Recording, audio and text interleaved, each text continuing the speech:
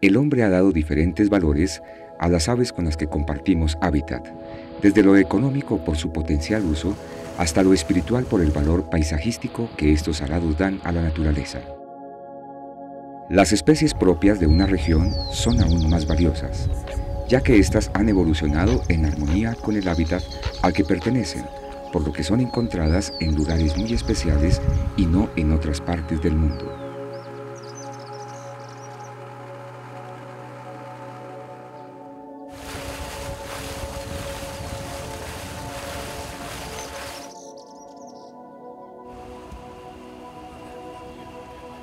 Sinalaxis subpúdica, llamado comúnmente chamicero cundiboyacense, es un ave propia de los ecosistemas altoandino.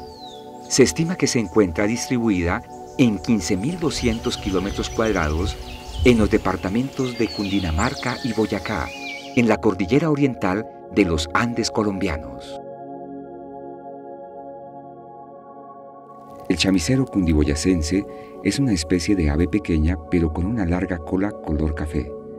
Al darle un vistazo rápido bajo la tenue luz de la mañana, resalta el color ladrillo de la coronilla, hombros y base de las plumas primarias de las alas.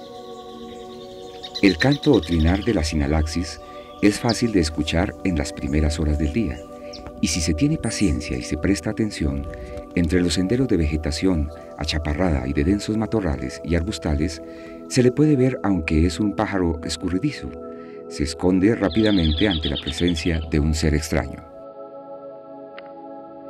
El chamicero cundiboyacense ha sido registrado en algunas áreas reconocidas como importantes para la conservación de las aves y en áreas protegidas por el Estado, en alturas que van desde 1.200 a 3.200 metros sobre el nivel del mar, como en los bosques de la falla del Tequendama, bosques secos del valle Río Chicamocha, cerros orientales de Tabio y Tenjo, Complejo Lacustre de Fúquene, Cucunubá y Palacio, Parque Nacional Natural Chingaza y por supuesto en la Laguna de Tota.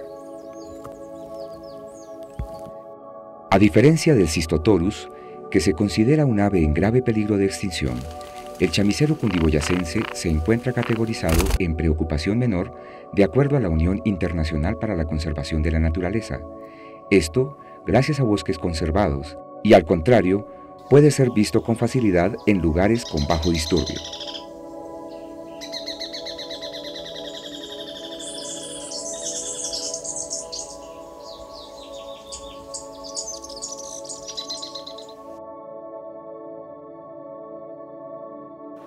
En el caso específico del lago de Tota, eh, de pronto históricamente sí estuvo afectada debido al desmonte.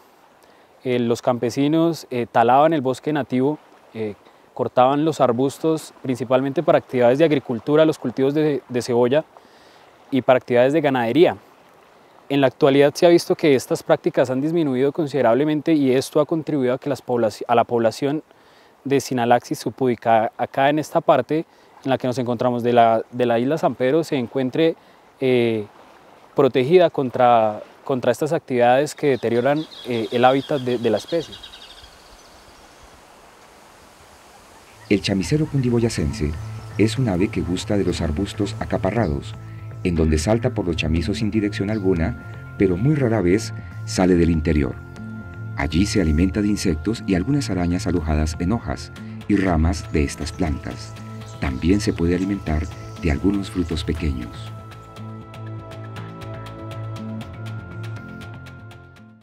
Sinalaxis es una especie que es, obviamente una ave insectívora que puede estar eh, ejerciendo alguna, alguna papel sobre, sobre el control biológico, por ejemplo, de muchas posibles plagas o insectos.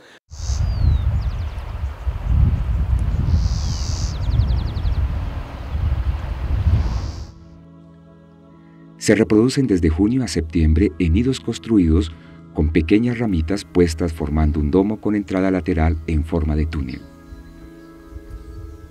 Al interior del domo se pueden distinguir algunos materiales suaves, como musgos, en donde son depositados los huevos. Sin embargo, es un ave poco conocida y en algunas ocasiones es confundido con el chamicero piscuis, dado su parecido.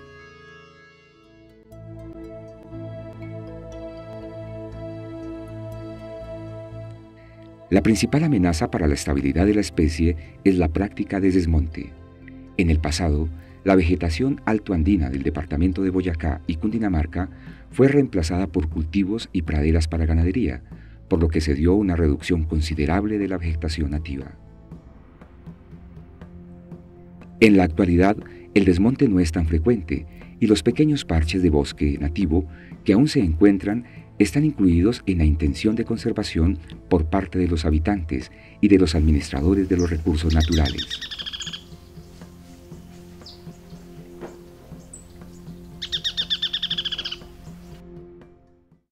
Se conoce muy poco sobre esa especie, pues es urgente estudiarla. Es muy importante estudiar estas especies porque no sabemos nada de ellas y hay que estudiar antes de que se extingan. Las iniciativas de conservación del lago de Tota cobijan todos los organismos que lo habitan, entre estos el chamicero cundiboyacense. Adicionalmente, la designación del lago de Tota como área importante para la conservación de las aves representa la riqueza del patrimonio avifaunístico encontrado en la cuenca y el área del lago, por lo que este privilegio debe ir acompañado de una responsabilidad de uso de la biodiversidad. También el reconocimiento del chamicero cundiboyacense como una de las especies de aves a incluir en las políticas para la gestión de la conservación de la biodiversidad del Distrito Capital de Bogotá permite que la especie no presente amenazas inmediatas y por el contrario exista la voluntad de conservar su hábitat natural. Desde la Universidad Pedagógica y Tecnológica de Colombia, el Grupo de Estudios Ornitológicos se ha unido a estos esfuerzos mediante la investigación de la avifauna residente en el lago de Tota, por lo que ha venido desarrollando censos anuales de las especies de aves, con el fin de conocer las dinámicas de estas poblaciones, pero principalmente de hacerle entender a la comunidad la importancia de conservar y proteger las áreas naturales de aves como el sinalaxis, por cuanto es un patrimonio avifaunístico del lago de Tota y por ende de la comunidad boyacense.